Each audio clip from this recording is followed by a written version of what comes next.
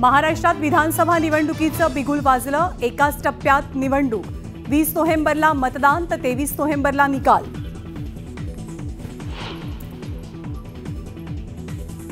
निवडणुका जाहीर झाल्यावर उद्या सकाळी अकरा वाजता महायुतीची पत्रकार परिषद. जागा वाटप आणि उमेदवारांची यादी जाहीर होण्याची शक्यता.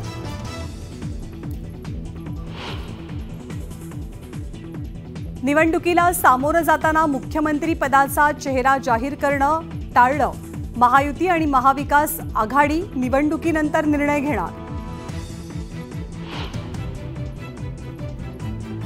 राज्यपाल नियुक्त सात आमदारांचा शपथविधी सोहळा संपन्न.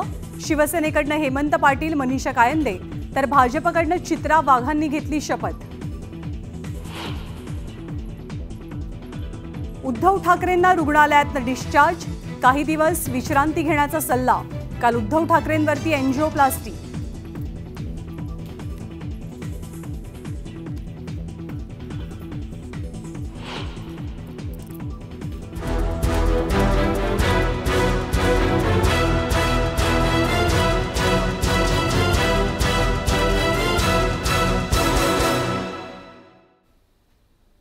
नमस्कार मी ज्ञानदा कदम या विशेष बुलेटिनमध्ये आपल्या सर्वांचं स्वागत. आजपासून बरोबर अडतीस दिवसांनी पुढच्या पाच वर्षांसाठी सरकार कुणाचं स्थापन होणार आहे सत्ता कुणाची येणार आहे हे स्पष्ट होईल. कारण राज्यामध्ये विधानसभेच्या रणसंग्रामाला सुरुवात झाली आहे. देशाचे मुख्य निवडणूक आयुक्त राजीव कुमार यांनी आज महाराष्ट्रातल्या विधानसभा निवडणुकांची घोषणा केली. आजपासून बरोबर पस्तीस दिवसांनी संपूर्ण राज्यात एकाच टप्प्यात निवडणुका पार पडतील. वीस नोव्हेंबरला विधानसभा निवडणुकीसाठी मतदान होणार आहे. त्यानंतर अवघ्या तीनच दिवसात म्हणजे तेवीस नोव्हेंबरला मतमोजणी पार पडेल निकाल लागतील. महाराष्ट्र विधानसभेचा कार्यकाळ सव्वीस नोव्हेंबरला संपतोय आणि त्याआधीच राज्यातली मतदान आणि निकालाची प्रक्रिया पार पाडली जाईल.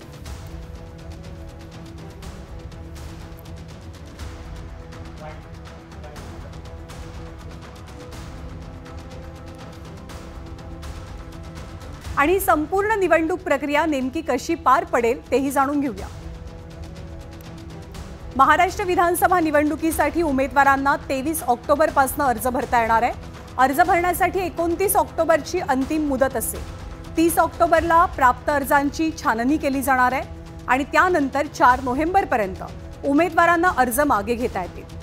तेवीस ऑक्टोबरला अर्ज भरायची प्रक्रिया सुरू होतीये निवडणुकीचा मुहूर्त निश्चित झालाय. एकोणतीस ऑक्टोबर अर्ज भरण्याची शेवटची तारीख असेल ही अंतिम मुदत आहे. तीस ऑक्टोबरला प्राप्त अर्जांची छाननी पार पडणार आहे. मग चार नोव्हेंबर ही अर्ज मागे घेण्याची अंतिम मुदत असेल शेवटची तारीख असेल.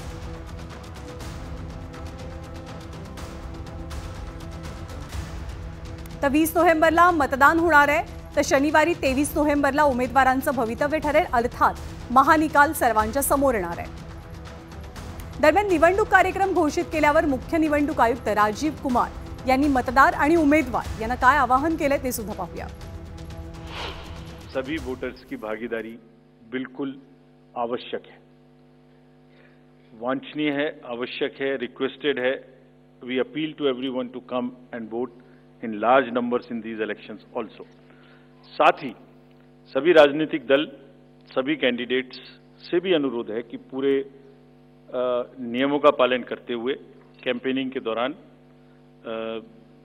निर्भय होकर कैंपेनिंग करें लेवल प्लेइंग फ़ील्ड एस्टेब्लिश करना हमारा काम है, लेकिन उसको वायलेट ना हो, उसमें कोई एक्सेसेस ना हो, ये उनका भी काम है। तर या निवडणुकीसाठी निवडणूक आयोगाकडे किती मतदारांची नोंद झाली आहे आणि एकूण किती मतदान केंद्रांवरती ही निवडणूक प्रक्रिया पार पडणार आहे, तेही आपण जाणून घेऊया. महाराष्ट्र विधानसभा निवडणुकीसाठी नऊ कोटी त्रेसष्ट लाख मतदारांची नोंद झाल्याचं निवडणूक आयोगानं सांगितलंय.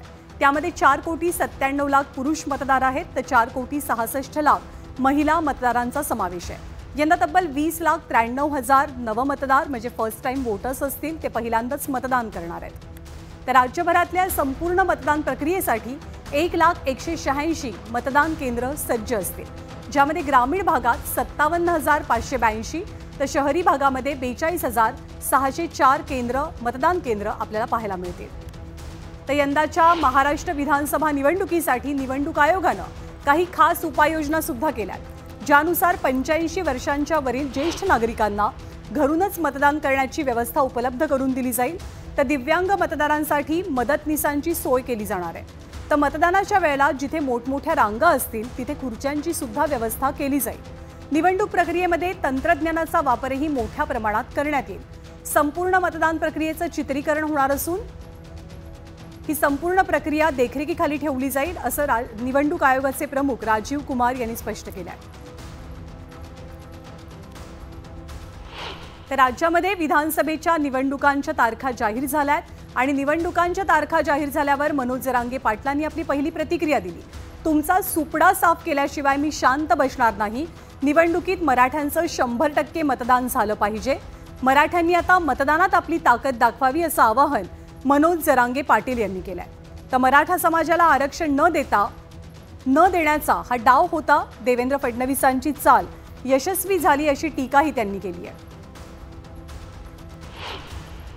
तर द्यायची की नाही हे आता मराठ्यांच्या हातात तुम्ही आमचे लेकर भिकारी बनण्यासाठी सगळी शक्ती लावली. आमचे लेकर खुर्चीवर बसले नाही पाहिजेत मराठ्यांचे अधिकारीने झाले पाहिजेत. यासाठी पूर्ण सत्तेचा तुम्ही गैरवापर केला. पण आता तुम्हाला खुर्चीवर बसू द्यायचं नाही माझ्या मराठ्यांच्या हातात आहे. तुमचा सुपडा साफ केल्याशिवाय मी शांत बसत नाही. ज्या मराठ्यांनी त्यांना सत्तेवर बसवलं त्याच मराठ्यांना बेचिरा कसं करता येईल? यासाठी सगळा सत्तेचा वापर देवेंद्र फडणवीसने मराठ्यांच्या विरोधात केला.